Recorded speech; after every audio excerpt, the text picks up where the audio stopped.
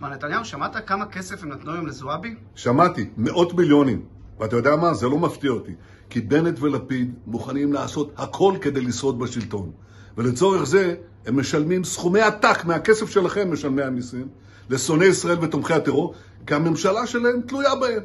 אז אה, הם כבר שילמו 50 מיליארד שקל לעבאס, הם שילמו בשבוע שעבר 200 מיליון שקל לטיבי, לאיזה כביש שהוא דרש, והיום הם שילמו מאות מיליונים לזועבי. ולזה יש להם כסף. אתם יודעים למה אין להם כסף? להצעה שלנו להשלים את המלגות ללוחמים ל-100%. זה בסך הכל תוספת של עוד 50 מיליון שקל. זה הבית של בנט ברעננה. זה הסכום. כלום. לזה אין להם כסף. פתאום לזה הם צריכים את הליכוד. אז שיפסיקו לבלבל את המוח הצבועים האלה. שיכניסו את היד לכיס של זועבי ולכיס של טיבי ולכיס של עבאס וייתנו 100% ללוחמים שלנו כי מגיע להם 100%. ואם לא יעשו את זה, אז הממשלה שלנו, שאנחנו נקים בקרוב בעזרת השם, הדבר הראשון שהיא תעשה, היא תיתן 100% ללוחמים שלנו.